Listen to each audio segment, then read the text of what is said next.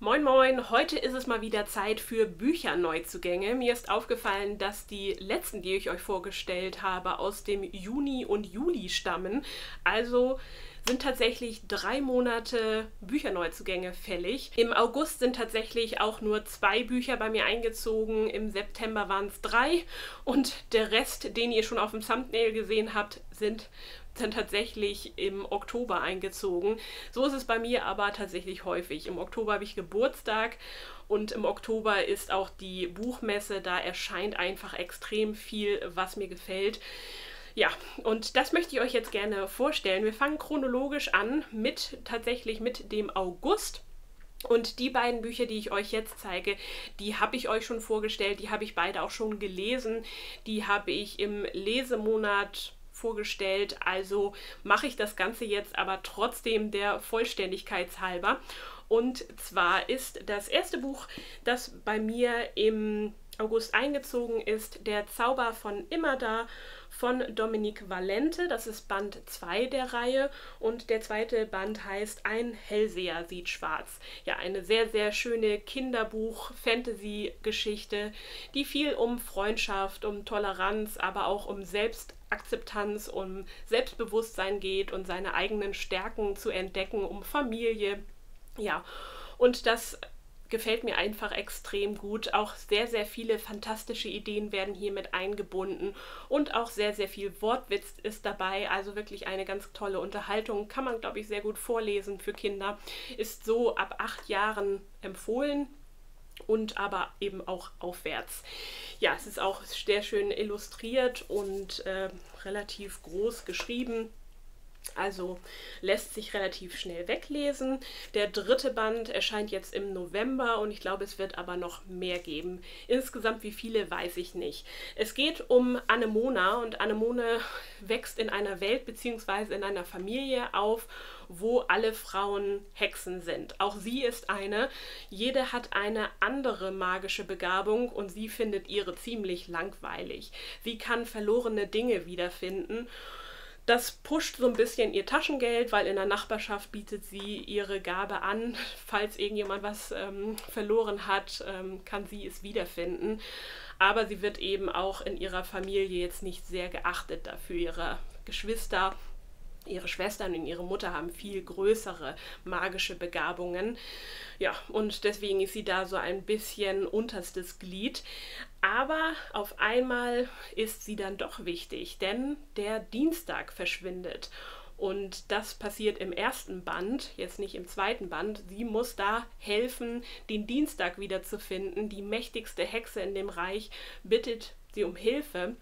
Und da ja, bei dieser Reihe entdeckt sie halt schon einige Fähigkeiten an sich, die vielleicht doch ein bisschen stärker sind und findet auch viele Freunde, die sie so mögen, wie sie ist. Ja, und im zweiten Band geht das Ganze wieder los. Es ist wieder ein neues Abenteuer, denn ein Freund, den sie im ersten Band kennengelernt hat, das ist ein Dunkelseher, der eben Erinnerungen anderer Leute sehen kann der verschwindet bzw. wird entführt und er kann vorher kurz noch einen Brief schreiben, dass äh, er entführt wird, denn er hat es vorausgesehen diesmal in einer kurzen Vers Vision und er kann ihr daher einen Hilferuf schicken und sie macht sich eben dann auf den Weg, ihn zu finden. Und äh, auch da trifft sie auf alte und auf neue Freunde wieder sehr, sehr skurrile und lustige Situationen, die sie überwinden muss. Und immer mit dabei ist natürlich Oswald, der Kobold von ihrem Bett, von unter ihrem Bett, der aussieht wie eine Katze, aber bloß nicht als Katze betitelt werden sollte, denn er ist ein Kobold, der orange, quietsch-orange wird, wenn er sauer oder wütend oder motzig drauf ist. Und das ist meistens der Fall. Er motzt und hat äh, einen wunderbaren Sprachfehler der das Ganze noch ein bisschen lustiger macht, ist aber ein treuer Freund für Anemona. Ja, wirklich sehr, sehr zauberhaft, sehr bunt und ich freue mich schon auf den dritten Teil. Und das ist äh, ja eben im August bei mir eingezogen. Ebenfalls ein Folgeband ist bei mir eingezogen im August Hidden Worlds Band 2, die Krone des Erben von Mikkel Robran. Ja, ähm, über, darüber habe ich auch schon ein bisschen gesprochen, dass es für mich eher so eine Enttäuschung war. Ich habe die Reihe bzw. die Bände der Reihe bisher mit Julia gelesen vom Kanal Leseritter. Und es ist ein, wirklich eine Reihe, die sich sehr leicht lesen lässt. Ähm, man kommt den Protagonisten sehr, sehr schnell nahe. Im ersten Band ist es Elliot, der, gekündigt wird der, der Geldprobleme hat, weil er eigentlich derjenige ist, der den Haushalt schmeißt und ähm, eben fürs leibliche Wohl sorgen muss und dass sie irgendwie über die Runden kommen müssen. Ähm, denn ihr, sein Vater, der sitzt einfach nur depressiv vorm Fernseher und macht sonst gar nichts. Aber jetzt, als Elliot ihm erzählt, dass er seinen Job verloren hat, da gibt er ihm auf, auf einmal einen Kontakt, wo er hingehen soll und um einen Job bitten soll. Denn dieser jemand würde ihm noch einen Gefallen schulden. Und es stellt sich heraus, dass es ein Job in einem magischen Einkaufszentrum ist, das Merlin Center. Und er soll dort als ähm, Tierpfleger arbeiten. Das sind nicht einfache Tiere, die er kennt, sondern es sind magische Wesen. Und er merkt aber auch, dass seine Mutter, die ja schon seit Jahren ihn verlassen hat, ihn und seinen Vater, ähm, ja auch diese in dieser magischen Welt bekannt war, beziehungsweise dort unterwegs war und die einem Geheimnis auf die Spur gekommen ist. Und zwar ist das das Geheimnis von Avalon, der Welt, wo die magischen Wesen eigentlich zu Hause sind. Und er versucht das Ganze ja aufzuschlüsseln, merkt aber auch, dass viele Gegner ihm auf der Spur sind, die das eben nicht wollen, dass er dieses Geheimnis aufdeckt. Ja, darum geht es im ersten Band. Im zweiten Band befinden wir uns dann tatsächlich in einer anderen Welt und erkunden diese. Es hat ja wieder abenteuerliche Züge, einige tolle Ideen. Ich finde die Idee dieses Merlin Center fand ich wirklich toll, aber da haben wir uns letztendlich gar nicht so oft befunden und fand ich tatsächlich verschenktes Potenzial. Im zweiten Band ging es dann ging es dann doch eher so ein bisschen in Richtung High Fantasy. Wir hatten hier einen Drachen, das hat mich so ein bisschen besänftigt, aber ich fand Elliot als Protagonist ähm, sehr, sehr schwach, denn er hatte überhaupt keine Entwicklung hinter, hinter sich gelegt oder aufgebracht, weil er einfach nie alleine war. Er hatte immer eine ja, eine Gefährtin dabei, die alles für ihn erledigt hat. Er musste keine Verantwortung übernehmen. Er war ziemlich jammerig drauf und ähm, ja, hat überhaupt nicht seine Stärken gezeigt. Es soll ja kein übermäßiger Held sein, der alles kann, sondern er soll sich einfach ein bisschen entwickeln müssen. Und das war hier einfach nicht der Fall. Und auch das Ende fand ich so ein bisschen an den Haaren herbeigezogen, sehr unlogisch und hat mir dann doch manchmal so ein bisschen Augenrollenmomente verschafft. Den dritten Band, der kommt hier jetzt auch noch mal vor. Ich werde diese Reihe doch zu Ende lesen, weil ich einfach mit Julia zusammenlese und es irgendwie dann Freude bringt. Ich jetzt auch wissen möchte, wie es zu Ende geht und ja, der zweite Band endet eben auch so, dass man jetzt denken könnte, vielleicht geht es ja jetzt doch los, dass Elliot in den Mittelpunkt kommt und vielleicht doch irgendwie ja, seine Bestimmung findet oder so ein bisschen seine Entwicklung hat. Aber ich finde, es ist viel zu spät. Und hier waren wirklich einige Sachen, wo ich doch den Kopf schütteln musste. Obwohl hier wirklich tolle äh, Ideen waren und es wirklich gepaart ist mit einem sehr lockeren, umgangssprachlichen Ton, weil es eben in unserer Welt startet und dann in so eine Fantasy-Welt übergeht und das so ein ja, so eine, ähm, eine ganz lustige Mischung ist. So, wir kommen zum September und da sind, wie gesagt, drei Bücher bei mir eingezogen und ein Buch, das habe ich mir gegönnt das ist ein ziemlicher Buchschatz und von der Optik echt wunder wunderschön. Es geht um Drachen und es ist eine Neuerscheinung, die dort erschienen ist. Ich musste mir sie einfach kaufen direkt, weil ich äh, es einfach nicht ausgehalten habe. Es ist ziemlich großformat. Ich bin gespannt, ob ich das jetzt in die Kamera halten lässt. Auch es geht. Und zwar ist das die Hüterin der Drachen auf der Suche nach dem letzten Himmelsdrachen. Der Text ist von Curatoria Draconis und die Illustrationen von Tomislav Tomic. Ich glaube, dass das Künstlernamen sind. ähm, ja, auf jeden Fall guckt euch das an. Es ist im Prestel Verlag erschienen. Das ist auch so ein Kunstverlag, der oft solche Schmuckbände rausbringt. Ja, wunder, wunderschön. Ist halt ähm, relativ dünn. Ich glaube, es hat 70 Seiten. Ob das viel Text ist da auch nicht drin. Hauptsächlich sind die Illustrationen ziemlich dabei, aber eben auch die Geschichte hat mich angesprochen. Es geht nämlich um eine Arche, wo alle Drachen unterkommen, glaube ich. Und es gibt eben eine wissenschaftliche Crew, die sich auf diesem Schiff der Drachen ähm, befindet und den Drachen der Welt eine Zuflucht gewährt. Und es, ja, da werden die verschiedensten Drachen, glaube ich, vorgestellt und es gibt eben diese Mission, den letzten Himmelsdrachen noch zu entdecken. Ja, ich bin sehr, sehr gespannt, ob mich das, also optisch wird es mich, glaube ich, umhauen, aber ich hoffe auch, dass die Story schön ist, dass mir das gefällt. Äh, vielleicht ist es auch so ein bisschen wie so ein Lexikon aufgemacht, dass verschiedene Drachen ähm, ja, vorgestellt werden. Vielleicht so ein bisschen wissenschaftlich, erinnert mich vielleicht auch so ein bisschen an das Elfenbestimmungsbuch von Benjamin Lacombe. Das ist ja auch so ein bisschen fantastisch, fantastisch wissenschaftlich angehaucht, wo es ähm, ja um die Bewahrung der kleinen Elfen ging und hier eben um die Bewahrung der großen Drachen und auch sehr naturverbunden war. Und ich hoffe, erhoffe mir sowas ähnliches. Ja, ich habe äh, noch gar nicht so viel reingeblättert, weil ich mir das aufheben möchte für einen besonderen Moment, aber das wird wahrlich nicht lange auf meinem Sub bleiben. Ich hatte jetzt im Spuktober hat es nicht so richtig reingepasst, aber jetzt im November werde ich es, glaube ich, auf jeden Fall lesen und dann werde ich es euch im Lesemonat vorstellen. Ich meine, ist das nicht wunderschön? Also für jeden Drachenfan ist das, glaube ich, ähm, ja ein Muss. Sehr, sehr schön. Also das ist für mich auf jeden Fall ein großes Highlight, was bei mir hier eingezogen ist. Eine weitere Reihenfortsetzung ist Held aller Zeiten von Brandon Sanderson. Das ist der dritte Band der Nebelgeborenen-Reihe. Ich habe mir ja fest vorgenommen, diese Reihe dieses Jahr noch zu lesen. Ich befürchte, ich werde es nicht mehr schaffen. Da muss ich da ganz ehrlich zu mir sein. Ich habe mir viel vorgenommen, Reihen zu beenden und nicht mehr so viele anzufangen. Habe aber festgestellt, dass ich extrem viele Reihen noch offen habe. Ich bin aber froh, dass ich immerhin den ersten Band endlich mal gelesen hatte, der schon lange auf meiner Wunschliste und dann auf meinem Sub lag. Und den fand ich wirklich auch großartig.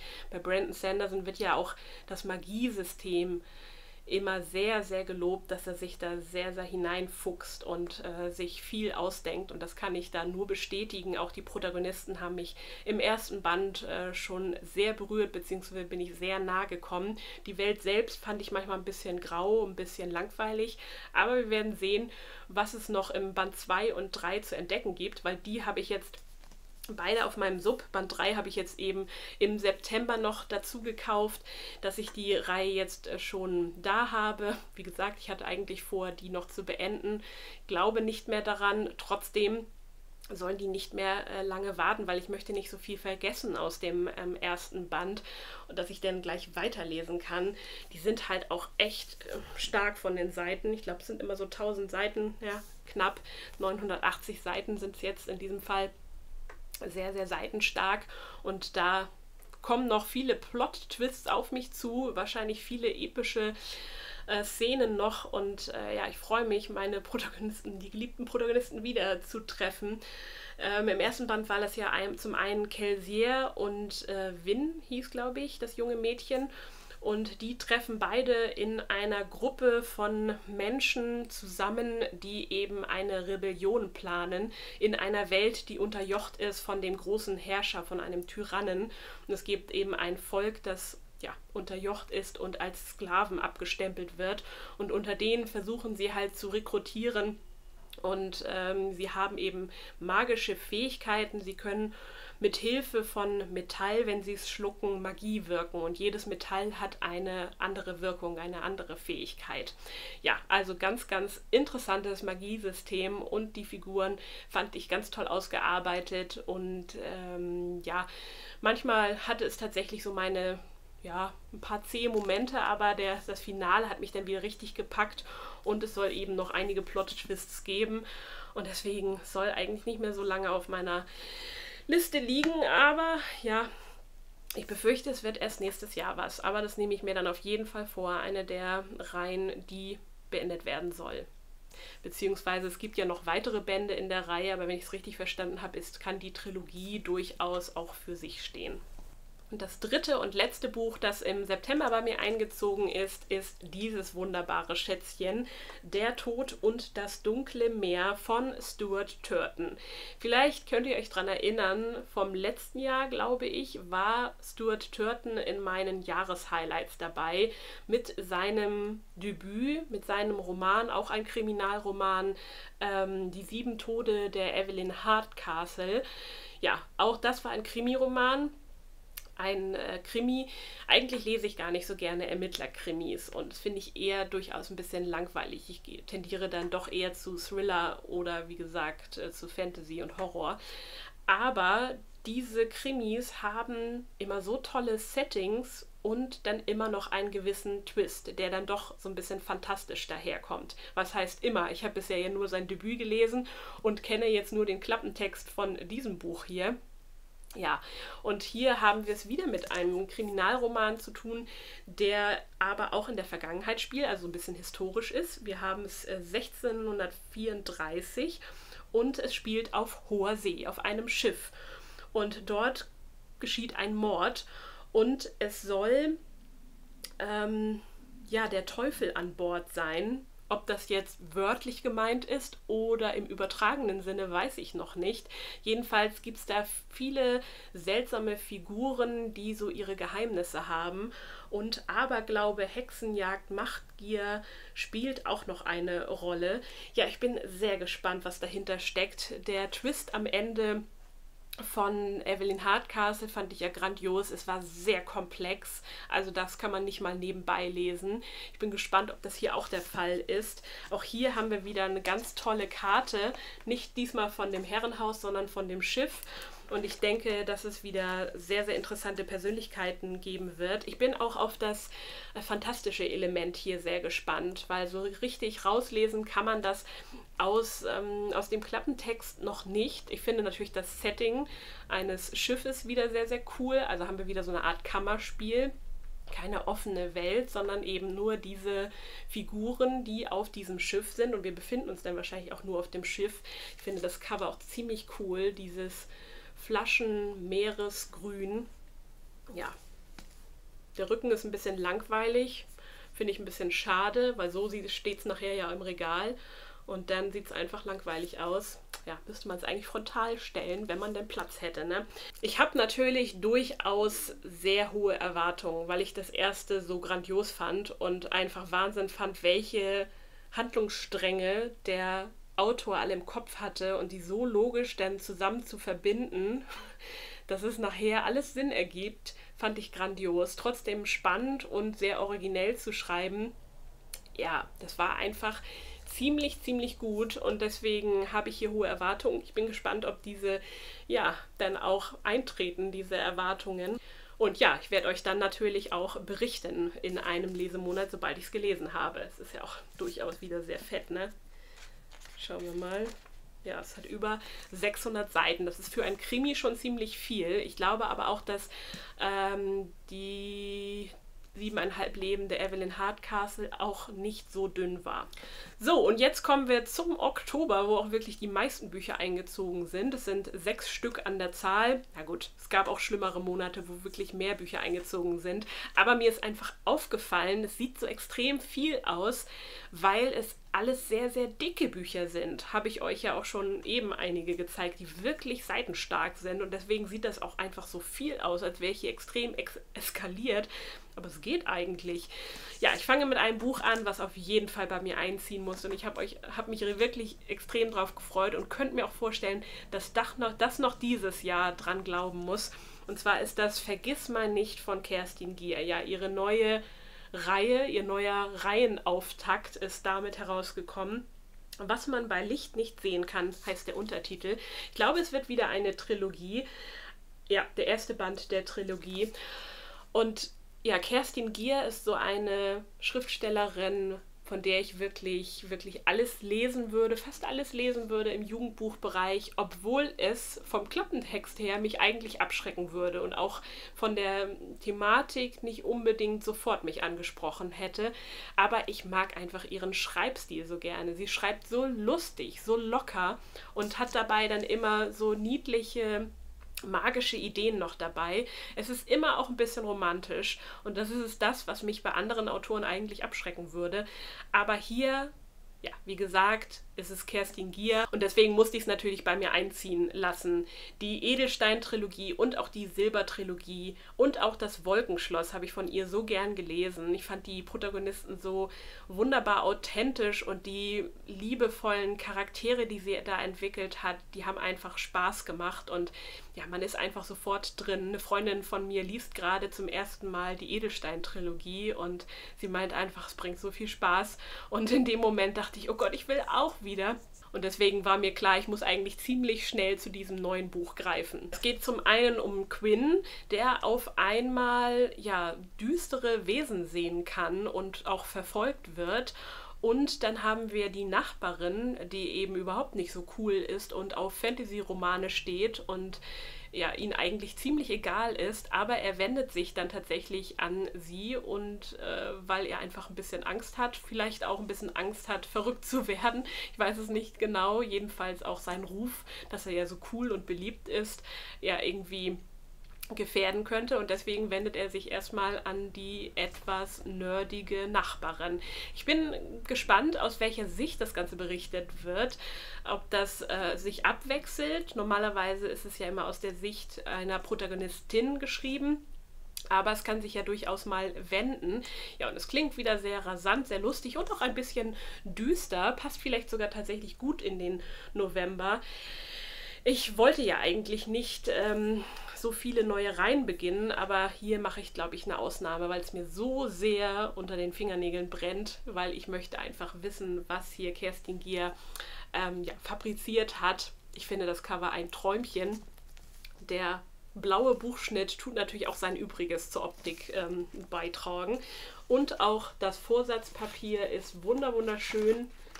Ja, und so sieht es ohne Schutzumschlag aus wieder wirklich ein Schmuckstückchen, was hier eingezogen ist. Ich hoffe, dass Band 2 und Band 3 nicht lange auf sich warten lassen. Von Jugendbuch kommen wir jetzt mal zu einem ausgewachsenen Horrorroman, der als Rezensionsexemplar bei mir eingezogen ist. Echo von Thomas Olde Heuwild. Manche Dinge sind schlimmer als der Tod. Echo habe ich mir hauptsächlich aufgrund des coolen Settings angefragt als Rezensionsexemplar, denn es spielt mal wieder in, den verschneit, in der verschneiten Bergwelt. Ihr wisst ja, dass ich diese Abenteuerromane und Abenteuerberichte auf verschneiten Gipfeln oder ja, in den Polargebieten sehr, sehr gerne lese seit einigen Jahren. Und da kam mir das natürlich gerade recht. Außerdem war mir der Autor ein Begriff. Ich habe zwar seinen ersten Roman, der hier in Deutschland erschienen ist, nicht gelesen. Das war Hex. Das ist ja so eine etwas originelle Hexengeschichte gewesen. Und deswegen war der mir auf jeden Fall auch ein Begriff und ich hatte das in den Neuerscheinungen gesehen und dachte, ja, das wäre doch mal wieder was. Dass es aber so fett ist, damit habe ich nicht gerechnet. Es sieht allerdings fetter aus. Nee, es ist doch, es ist ziemlich fett. Ich hätte jetzt gedacht, es wären vielleicht 500 Seiten, aber es sind über 700, also doch ist es schon relativ dick für so einen Horrorroman. Und es geht eben um zwei Freunde, die es lieben zu klettern und die in den Schweizer Alpen unterwegs sind und auf einen Berg treffen, den Maudit, wenn man ihn denn so ausspricht. Und ja, über den kennt jemand etwas oder weiß jemand etwas und es gibt mal wieder Legenden und es passiert ein Unfall dort und irgendwie werden sie dort heimgesucht und ich glaube, der eine landet dann im Krankenhaus, der andere ist dann sehr besorgt um ihn, scheint aber irgendwas Böses mit aus den Alpen mitgenommen zu haben.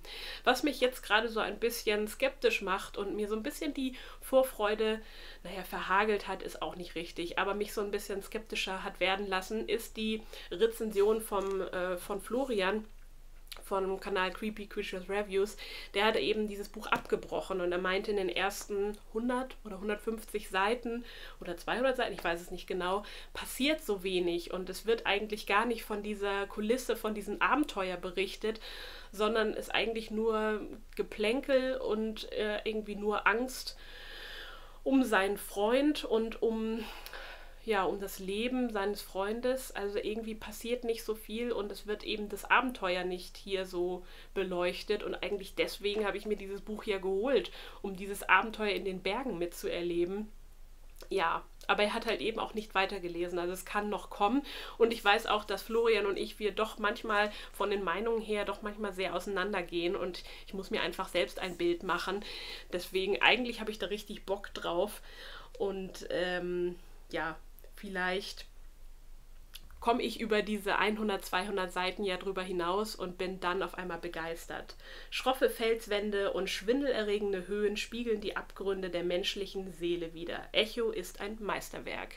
Ja, also irgendwann muss es ja in den Alpen mal spielen, wenn das hier immer wieder damit beworben wird. Ähm, ja, ich bin sehr, sehr gespannt, ob es mir gefallen wird. Vielleicht hat ja einer von euch es gelesen und kann mir ein bisschen mehr Motivation machen. Das würde mich sehr, sehr freuen. Ihr könnt natürlich auch schreiben, wenn es euch nicht gefallen hat. Ähm, ja, dann ist es halt so. So, wir kommen zum nächsten Rezensionsexemplar. Die sind beide, glaube ich, zeitgleich bei mir eingetroffen, weil sie am selben Tag erschienen sind. Ja, das Buch habe ich mir aufgrund des Autors gekauft, weil es eine neue Reihe im selben Universum ist, in der auch meine Lieblingsreihe spielt oder eine meiner Lieblingsfantasy-Reihen. Ich spreche vom Dämonenzyklus, den ich euch ja immer wieder ins Herz lege, von Peter V. Brad. Das sind ja fünf, sechs Teile, je nachdem, ob du auf Englisch oder auf Deutsch liest. Im ähm, Deutschen wurde mal wieder ein Band getrennt. Ja, und das habe ich einfach über Jahre hinweg sehr, sehr gerne gelesen und gerne verfolgt. Und in dieser selben Welt spielt jetzt Jahre später dieses Buch hier. Der Prinz der Wüste von Peter V. Brad in der, ja, der neue Roman der Bestseller-Saga. Ich muss ehrlich sagen, wenn ich jetzt ganz ehrlich bin, hätte ich lieber etwas ganz Neues aus seiner Feder gelesen, eine ganz neue Welt. Denn ich finde, es ist doch relativ abgeschlossen. Man soll doch eigentlich Schluss machen, wenn es am schönsten ist und das nicht ewig hinausziehen. Vielleicht hat es ihn wieder dorthin gezogen, Vielleicht konnte er nicht so richtig abschließen. Klar, es ist wieder, es sind neue Figuren, die da drin vorkommen, aber so lange her ist es nicht. Es spielt, glaube ich, weiß nicht, 20 Jahre später. Die Figuren, die wir aus dem ersten Bänden kennen, die gibt es also noch. Also sie sind jetzt äh, noch nicht vergangen oder äh, verstorben, sondern ähm, es spielt, ich glaube, die, die nächste Generation spielt hier sozusagen die Hauptrolle. Und somit ist es noch gar nicht so lange her. Und solche Sequels, ja, weiß ich nicht, muss ich nicht immer haben. Dieses aufgebrühte, aufgewärmte. Ich will natürlich nicht äh, zu vorschnell ja, mein Resultat hier raushauen, denn ich habe das Buch noch nicht gelesen und irgendwie freue ich mich auch drauf, weil ich weiß, wie gut Peter Rebrad schreiben kann und wie sehr ich diese Reihe und die Figuren auch mochte und natürlich würde ich mich auch freuen, die Figuren wieder zu entdecken und natürlich hoffe ich, dass es auch durchaus äh, seine Berechtigung hat, dass das Buch rausgekommen ist. Also will ich ein bisschen vorsichtig sein, aber ich bin skeptisch, das kann ich nur sagen. Das Buch sieht tatsächlich dünner aus als Echo, ist aber fetter. Also dieses Buch hat 700 Seiten und dieses Buch hat bibeldünne Seiten und hat 900 Nee, es hat über 1000 Seiten. Krass, oder? Wie, wie das äh, täuschen kann. Ja, es hat wirklich sehr, sehr dünne Seiten. Aber ich weiß eben, dass man Peter wie Brad weglesen kann wie Butter. Und ich hoffe, ja, doch, ich hoffe sehr, dass mich das wieder packen kann und dass es äh, durchaus nicht bloß aufgewärmt ist, sondern dass es ähm, eine Bewandtnis hat, dass er wieder zurückkehrt, dass er eine neue Idee hat, etwas Frisches mit reinbringt und ähm, ja eine neue Sichtweise, wie auch immer, das Ganze zu einer tollen neuen Reihe macht, weil es werden natürlich auch wieder neue Bände erscheinen. Es ist äh, der Auftakt eines neuen Abenteuers in dieser Welt. In dieser Welt steigen abends oder nachts Dämonen empor, die die Menschheit plagen, die sie jagen und gegen diese Dämonen haben die Menschen eigentlich kaum etwas in der Hand. Sie müssen sich einfach nur vor ihnen verstecken. Das Einzige, was sie haben, sind bestimmte Siegel, Schutzsiegel, die sie in ihre Häuser oder auf Zäune oder wo auch immer hineinkratzen und die wirklich immer wieder gepflegt werden müssen, damit die Dämonen nicht eindringen können. Es gibt die Legende, die Sage, dass es Kampfsiegel irgendwann mal gegeben hat Und unser Protagonist aus dem ersten Teil, aus der ersten Reihe, ja, macht sich dann irgendwann auf die Suche, diese Siegel zu beschaffen. Denn er muss miterleben, wie sein Vater Angst erstarrt ist und seine Mutter von den Dämonen zerfleischt wird und sein Vater eben nicht zur Hilfe kommt und er möchte nicht in Angst leben. Er möchte nicht mehr vor den Dämonen kuschen, er möchte etwas dagegen tun und somit bricht er eben auf und so beginnt sein Abenteuer. Ja, und hier haben wir eben eine Tochter der Protagonisten. Ich möchte jetzt nicht sagen, wer das ist, sonst würde ich ja ein bisschen spoilern. Und die, ja, muss miterleben, dass die Dämonen wieder teilweise zurückgekommen sind, weil die Bedrohung äh, haben, hat sich ja so ein bisschen im letzten Band ähm, verflüchtigt, wie auch immer, will ich nicht erzählen, aber es scheint irgendwie doch noch eine Bedrohung von diesen Dämonen auszugehen. Und sie selbst bringt irgendwie auch noch ein paar Probleme mit sich mit, vielleicht auch mit ihren Eltern, ich weiß es nicht äh, so genau. Dadurch, dass es jetzt so nah dran ist an der ersten Reihe, würde ich, glaube ich, schon empfehlen, mit der Reihe anzufangen. Ich weiß nicht, ob es klug ist, äh, sofort hier mit einzusteigen. Das kann ich euch vielleicht dann erst sagen, wenn ich es gelesen habe und dann empfehlen, ja, wo ihr anfangt. Aber ich glaube, um auch diese ganzen Anspielungen verstehen zu können und sich nicht ähm, zu spoilern auf die gesamte vorige Reihe, ist es vielleicht nicht unbedingt der beste Einstieg in diese Welt. So, da haben wir ihn. Den dritten Teil von Hidden Worlds von Mikkel Robran habe ich ja schon angekündigt, dass er in diesem Video auch nochmal auftauchen wird. Das Schwert der Macht ist auch dieses Jahr erst erschienen. Die drei Bände sind ja relativ schnell hintereinander rausgekommen, was ja eigentlich ein äh, Vorteil ist. Und ich habe auf jeden Fall vor, diese Reihe noch ähm, dieses Jahr zu beenden. Ich habe mit Julia wieder abgemacht, ähm, dass wir es zusammenlesen im November.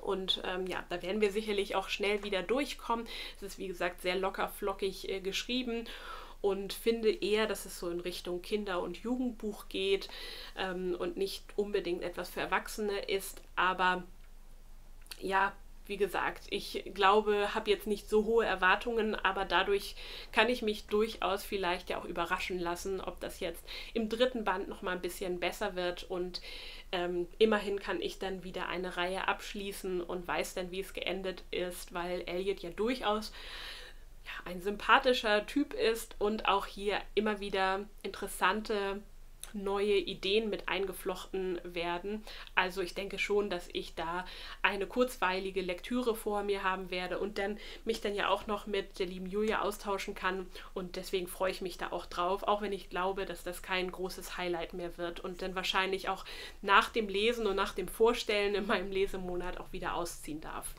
Und ich hatte eben im Oktober auch Geburtstag am 11.10.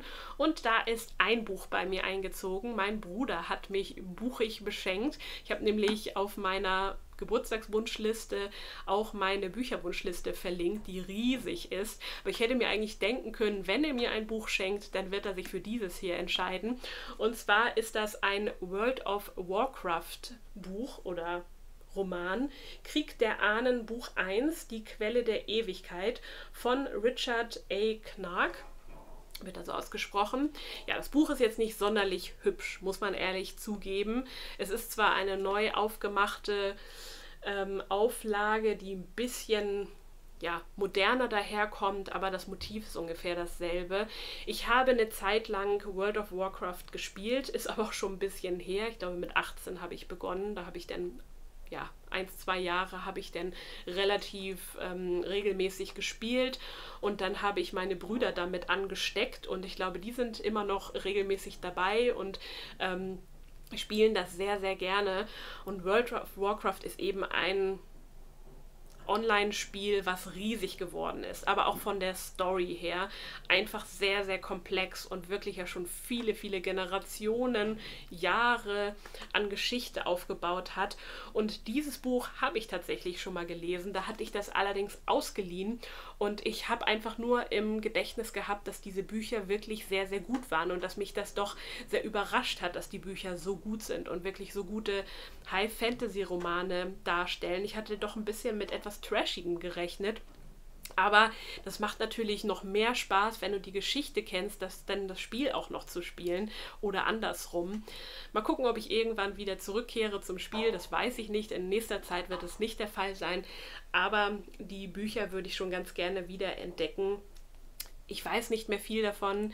Ich habe die Trilogie gelesen und ich glaube noch eins, zwei weitere Bücher. Hier haben wir es eben mit High Fantasy zu tun, in einer Welt, wo viele verschiedene Völker leben. Da haben wir die Nachtelfen, die Blutelfen, die Orks, die Menschen, die Zwerge, die Gnome und so weiter und so fort. Aber wir haben auch Drachen. Und hier haben wir es eben mit so einer typischen Heldensaga zu tun. Also eine Gruppe von den verschiedensten Völkern macht sich auf, um eine Queste zu erfüllen. Also eigentlich so ein typisches High-Fantasy-Motiv. Und äh, ja, mehr weiß ich eigentlich nicht. Es steht zwar viel auf dem Klappentext, aber ich finde das alles ein bisschen verwirrend und vor allem, wenn man sich nicht so gut mit der Geschichte von WoW auskennt, ähm, ja, finde ich das alles ein bisschen verwirrend. Es spielt viel auch vorher, also es gibt Romane, die auch vorher spielen. Allerdings habe ich das damals ja auch gelesen und bin damit ganz gut klargekommen. Ich kann mich an eine Drachenstory erinnern, die ich wirklich gut fand und wo ich die Drachendarstellung auch richtig, richtig klasse fand. Ich weiß aber nicht mehr, ob das hier drin vorkam oder ob das in einem anderen Buch war. Ja, es geht eben um Magier und um einen alternden Ork-Veteran. Ja, und die alle tun sich eben zusammen, um auf eine Queste zu gehen. Ja, mal schauen. Dadurch, dass die Reihe ja auch schon älter ist und dann kann ich ja, muss ich da jedenfalls nicht auf weitere Bände warten. Ich glaube aber, dass dieses Buch noch nicht an der Zeit ist. Da werde ich, glaube ich, erstmal ein paar Re weitere Reihen beenden wollen, bevor ich jetzt wieder eine neue, eine neue, in Anführungszeichen, wieder anfange. So, und das letzte Buch, das ich euch jetzt in diesem Neuzugänge-Video vorstellen möchte, habe ich euch quasi in dem vorletzten Video gerade gezeigt. Es ist nämlich ähm, ja, im Zuge des Halloween-Wichtelns bei mir eingezogen. Und zwar haben wir ja uns in einer kleinen Gruppe zusammengetan und uns gegenseitig bewichtelt und ein, ein, ein ja, ein Halloween-Tauschpaket zusammengeschnürt. Und ja, da haben wir dann an einem Tag alle zur selben Zeit dieses Unpacking hochgeladen. Und ja, da war ich, glaube ich, ein bisschen verwirrt, als ich dieses Video gedreht habe. Denn wir haben uns gegenseitig Bücherwunschlisten ausgetauscht und auch ein paar Steckbriefe, was wir mögen und was wir nicht mögen. Und die liebe Steffi vom Kanal Buchschnack hat eben mich gezogen, also durfte mich beschenken. Und äh, sie hat eben ein Buch hineingelegt und das war dieses hier, Halloween von Stuart Onan. Und als ich das Buch ausgepackt habe, da war ich etwas verwirrt, weil ich irgendwie mich nicht erinnern konnte, dass ich das auf meiner Wunschliste hatte. Das soll zunächst einmal nichts heißen, weil meine Wunschliste wieder extrem lang war, die ich ihr ähm, verlinkt habe.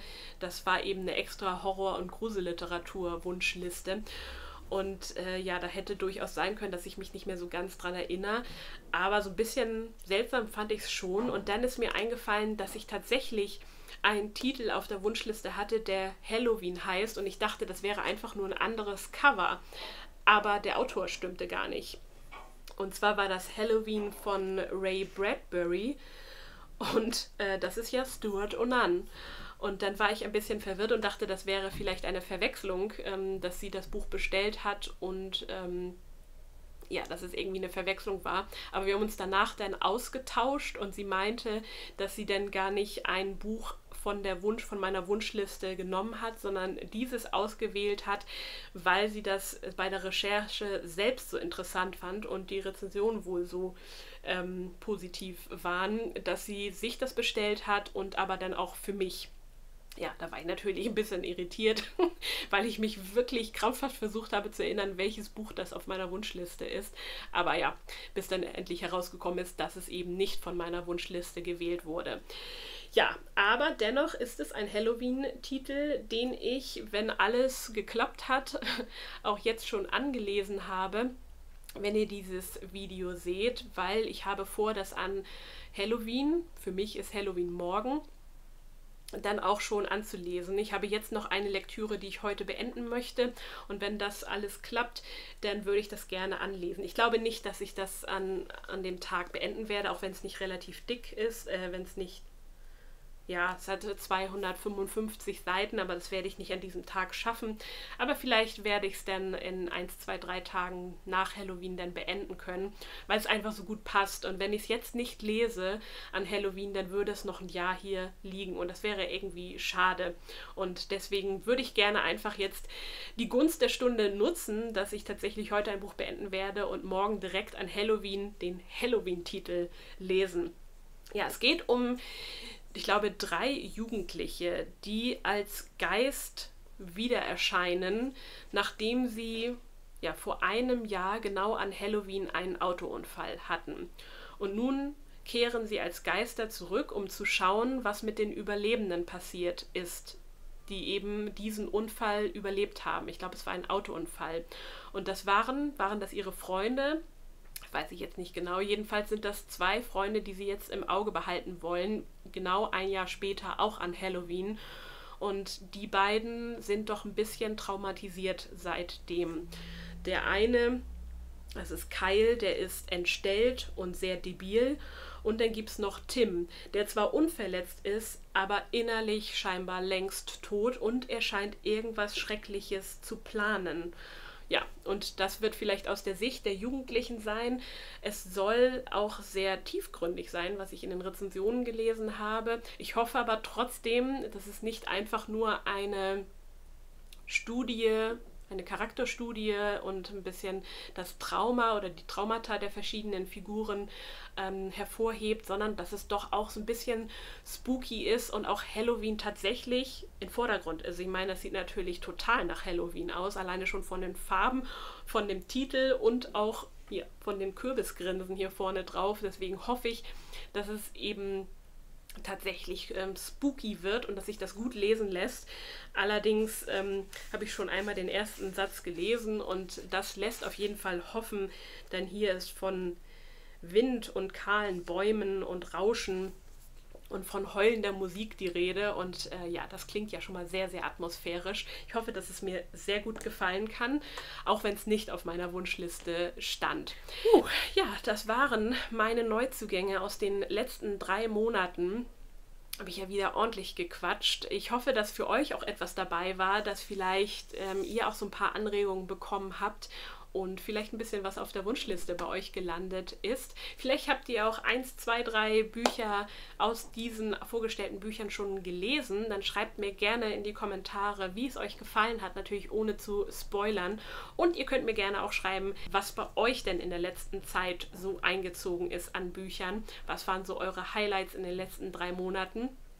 Und ähm, ja, seid ihr jetzt eskaliert, auch im Oktober, wo wieder so viel erschienen ist, Richtung Buchmesse, oder seid ihr eisern geblieben? Jetzt wünsche ich euch noch eine schöne Lesezeit und wenn ihr wollt, sehen wir uns im nächsten Video. Macht's gut, ciao, ciao!